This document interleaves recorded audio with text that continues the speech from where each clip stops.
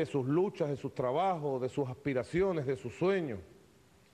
Así que cuando dije en estos días que como presidente obrero me declaraba protector de la clase obrera y quiero ser el protector de la clase media que trabaja en Venezuela, lo asumo con mucha seriedad. Y me he dedicado, así como me, he dedicado junto al comandante Chávez, aprendí, y ahora como presidente, bueno, a defender el salario de los trabajadores, ¿verdad?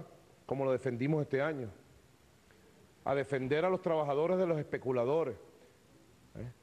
Mañana voy a firmar el decreto para garantizar la estabilidad laboral en todo el año 2014. Lo voy a ratificar nuevamente.